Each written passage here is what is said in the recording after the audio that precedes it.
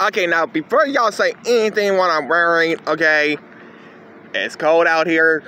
Once again, once again, actually, okay. Plus, uh, happy Thursday. And what was the most embarrassing moment in a field game? Well, so on during WWE 2K19. So were you gonna be in a segment with John Cena on your My Career with your custom superstar? Well, this actually happens. He doesn't. He actually talks in the game.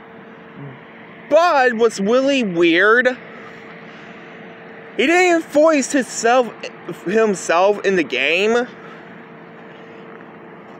Which the reason why he didn't voice himself in the game because they had Randy Orton voiced him in WWE 2K19. I was like, yeah, that's literally the most embarrassing moment in a video game. But anyway, guys, uh, what's your guys' thoughts about that embarrassing moment in the game? Let me know down in the comments below.